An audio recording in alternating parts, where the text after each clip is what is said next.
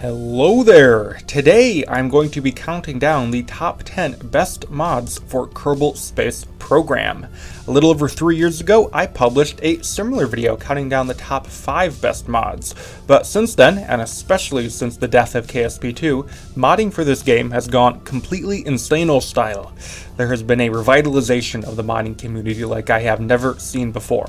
So I thought now would be a good time to update my list and not only showcase some of the fantastic new mods released by the community, but also to see how some of the older mods have stood the test of time.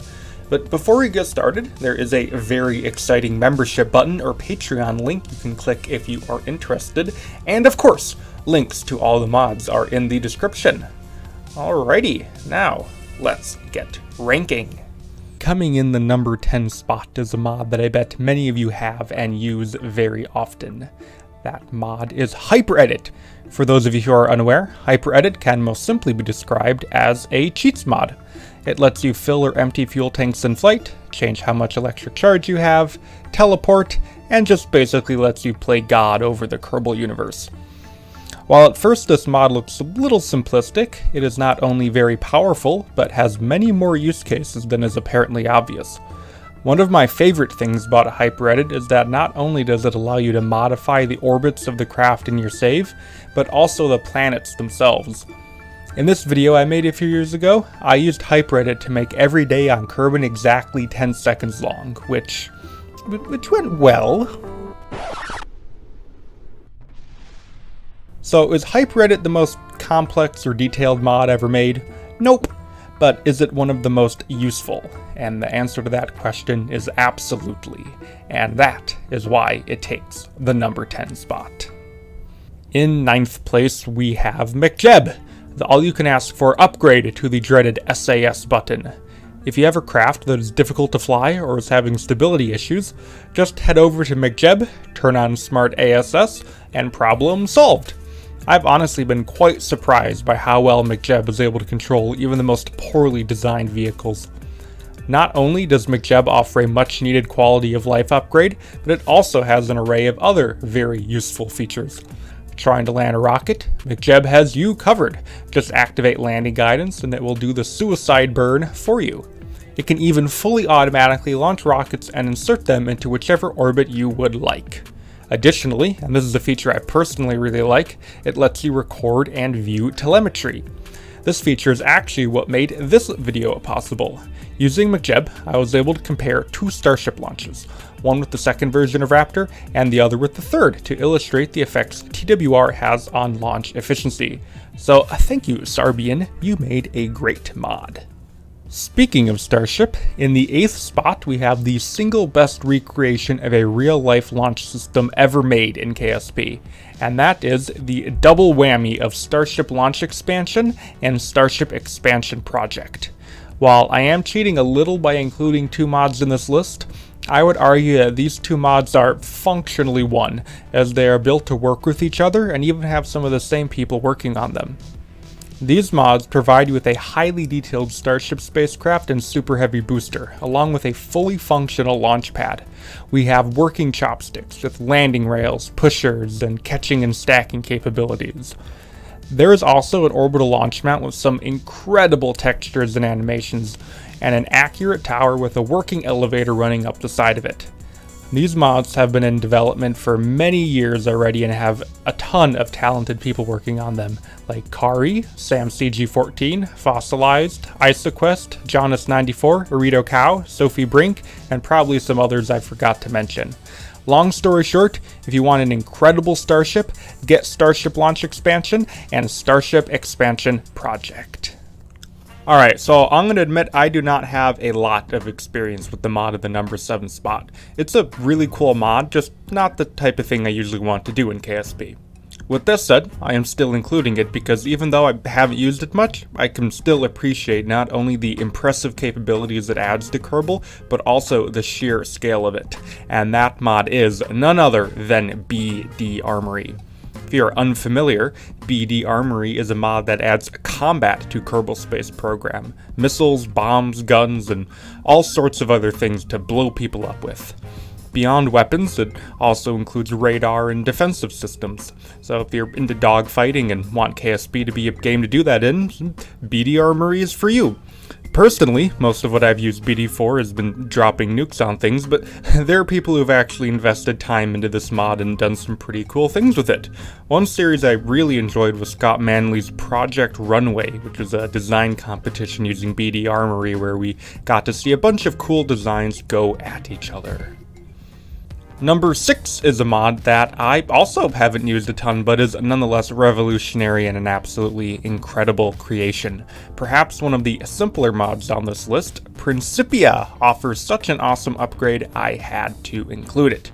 This mod's main claim to fame is that it adds n-body gravitation into KSP. If you don't know how Kerbal physics works, put simply, your craft can only ever be affected by the gravity of a single body at a time. This means when you're in Kerbin's sphere of influence, you only feel the effects of Kerbin's gravity, and when you're in the Mun sphere of influence, you only feel the effects of the Mun's gravity.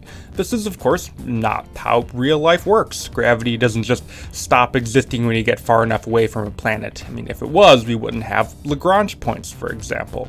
So, in an attempt to make KSP's physics more realistic, Principia makes the gravity of many different bodies act on your craft at the same time. I will admit I'm no expert, but smarter people than me have gotten pretty creative with the orbits they've been able to create using Principia, such as in this video by Yax, where he was able to get his spacecraft into a square orbit, which is honestly pretty funny. Um, anyway, that's Principia though, a super cool mod that undoubtedly deserves its spot as the sixth best mod for Kerbal Space Program. Oh boy, have I got a good one for number 5. It took me a lot of restraint for me to not put this at number 1 because this thing blew my mind when it first came out. I am, of course, talking about the excellent Volumetric Clouds mod by Blackrack. In terms of visual mods, this is the best of the best. For me, nothing has added more immersion to KSP than volumetric clouds. Not only does this mod come with its famous clouds, but also adds weather elements such as rain and lightning. There's nothing more awesome than launching a rocket through a dark and violent storm before flying through a cloud layer and emerging into clear blue skies. Like I said, I really wanted to put this at number one because I really do believe it is one of the most impressive mods ever made. But alas, I had to be a little more reasonable because at the end of the day, it is still just a visual mod, and I think the top spots should be reserved for mods that really transform the game and give the player new ways to interact with it. Uh, a quick note though, before we move on for people who want to download this mod, it is currently in early access and paywalled in Blackrack's Patreon. Subscribing only costs about $5 per month, so if you can afford it, I think it is well worth the price.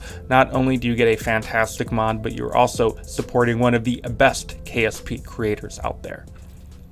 In fourth place, we have a mod that lets you build things in KSP, Kerbal Konstructs.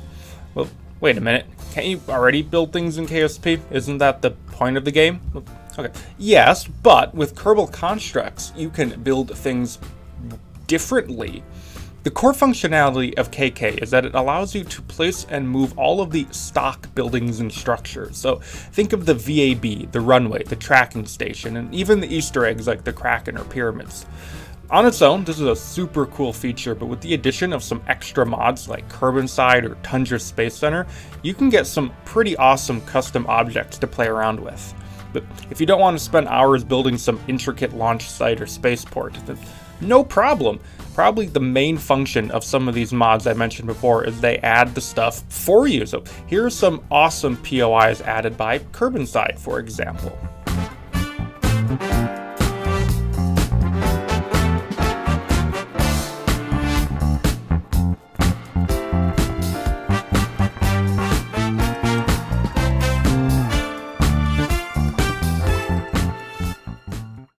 Starting out the top three is going to be a planet pack.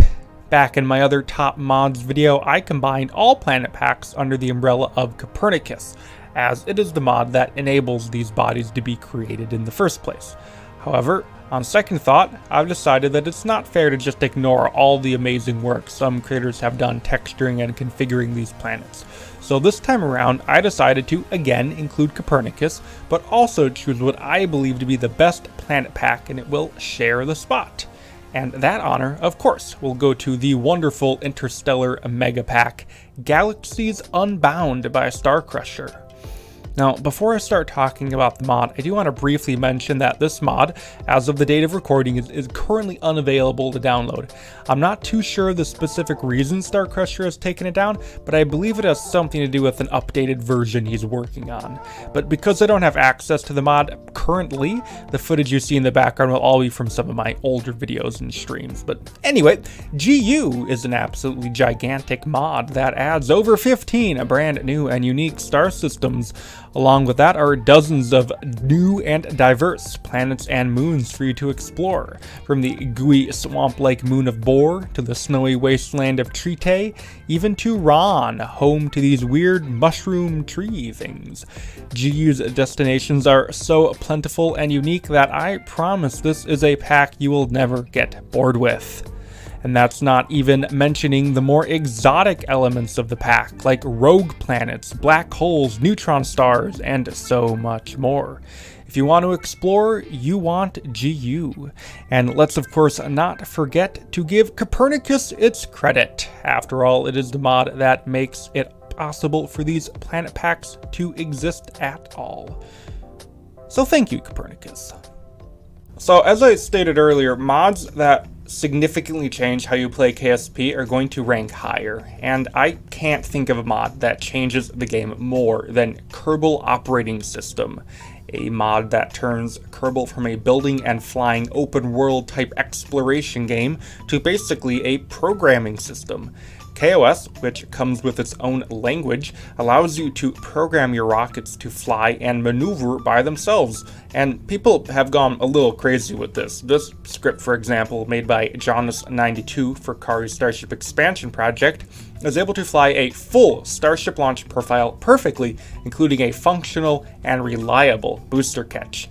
This script by Giolodondi, apologize if I mispronounced that, but it can perform a full space shuttle reentry and glide down all the way from orbit to a safe landing on a runway. While I'm personally not big into the programming side, for the people who are, KOS completely changes the thesis of Kerbal. The capabilities and applications of this mod are just so huge and diverse that it deserves nothing less than the number 2 spot. Before we crown our number one spot for the best mod in KSP, let's briefly list some honorable mentions. Mods that are absolutely fantastic, but just barely missed the top 10. This includes Free IVA, Tundra, Near Future Tech, Hangar Extender, Blue Dog Design Bureau, Real Solar System, Realism Overhaul, and Tweak Scale. And now, onto the number one spot. I'll admit something. I did not want to put this mod at number one. It is pretty buggy and I haven't used it in years. But in the end, it is just so revolutionary that I couldn't bring myself to dethrone it. So without further ado, just like in my last mod ranking video, the number one best mod for Kerbal Space Program is Luna Multiplayer.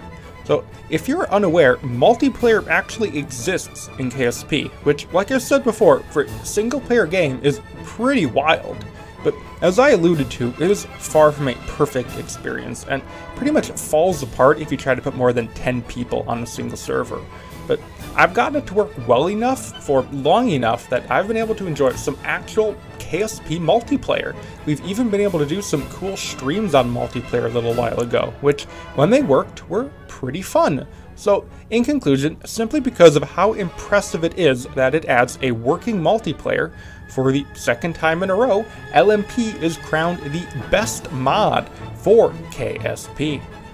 Alright, so that is just about gonna do it.